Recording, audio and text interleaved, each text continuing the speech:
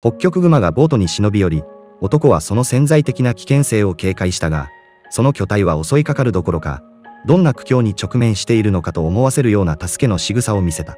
普通の観光ガイドツアーでは、ガイドのローランド・オリアーは参加者に地元の伝統に関する知識を教えるのに忙しかった。彼はボートの船尾に座り、エンジンをかけると、小さな木造ボートをゆっくりと動かしながら、アラスカのカクトビッチ近海をビューフォート海に向かって進んでいく。パチパチと音を立てるエンジンを点検しようと顔を向けると、突然、ボートから数メートルも離れていないところに大きな白い物体が浮かんでいるのに驚いた。イヌピアト族のガイドだったローランドは地元の野生動物にとても詳しかったため、目を細めてよく見ると、すぐにそれが北極熊だと分かった。しかし、その熊がそこで何をしているのかが理解できず、特に早く動いているようにも見えなかった。陸地からはかなり離れていたので、ローランドはボートのスピードを落としてゆっくり進むことにした。彼は観光客に謝りながら、この地域では北極熊が保護されていることを説明し、また、幸運な観光客にとっては北極熊を間近で見ることができる貴重な機会でもあり、にもかかわらず、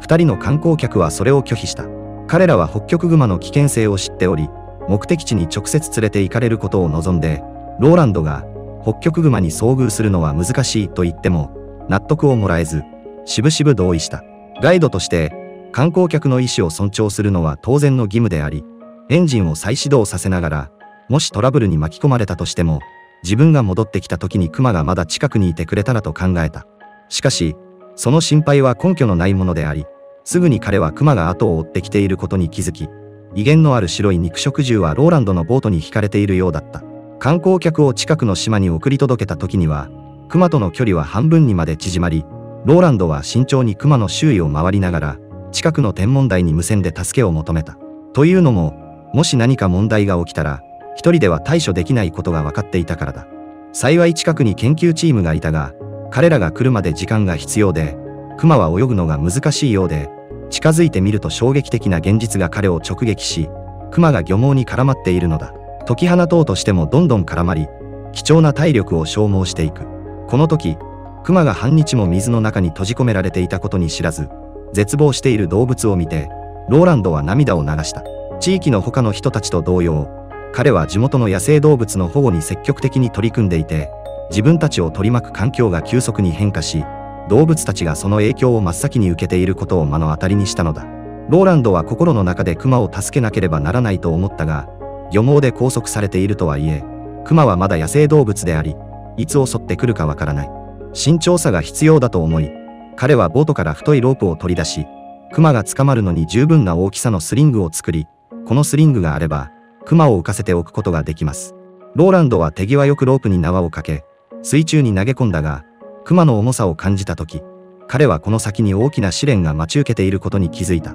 水の浮力があるとはいえ、クマの体重は計り知れず、重さは約 400kg でピアノとほぼ同じ重さだ。わずか数分後、ローランドは窮地に陥り、クマはロープから抜け出そうともがき、全く協力してくれなかった。ローランドは自分の腕と上腕二頭筋がほてって痛むのを感じ、その時の唯一の望みは調査チームが早く助けに来てくれることだった。ところが驚いたことに、イヌピアットの漁師仲間が最初に到着し、遠くから彼に気づき、3人は交代でクマを浮かせているロープを引っ張り、ゆっくりと岸に引き上げようとした。しかしクマはガンナに抵抗し、経験豊富な漁師たちにとってさえ、クマを岸に引き寄せるのはほとんど不可能なことであり、彼らが一歩前進するごとに、クマは数秒でそれを引き戻そうとします。クマは荒踊り自粛もがき、漁師たちのボートを意のままに引っ張る強さを持っていた。幸いなことに、調査チームは間に合ったが、すぐに鎮静剤でクマを黙らせ、効き目が出るまでには時間がかかるが、しばらくすればその作業も楽になるだろう。3分後、クマの動きは鈍くなり、その筋肉は徐々に緩み、岸に引き上げるのも容易になっていった。ローランドはまだ動揺していたが、袖で涙を拭い、やるべきことがあると分かっていたからだ。科学者たちと共に、村人たちは北極熊を安全な岸辺までそっと連れて行った後、チームは作業に取り掛かったが、網は北極熊の四足に絡まっていたため、外すのは大変なことであった。手袋をはめて熊の体を四方から観察し、傷の有無を確認し、心拍や動向、爪をチェックした。そして最後に、熊の肩に小さなプラスチック片を慎重に取り付け、緊急時に熊の居場所をすぐに特定できるよう、追跡と監視が可能にすることを説明した。その後、一行は北極熊に立ち直る時間を与えるため、ゆっくりと内陸へ移動し、やがて北極熊は地面に転がり、まるで悪夢から覚めたかのように毛を振り乱しながら立ち上がった。そして水に飛び込んで泳ぎ去っていった。救助の成功に誰もがほっと胸をなで下ろして喜び、この愛らしい生き物が二度と人間のゴミに出会えませんようにと願った。最後までご視聴、ありがとうございました。お気軽にコメントしてください。よかったらチャンネル登録と高評価もよろしくお願いします。では次の動画でお会いしましょう。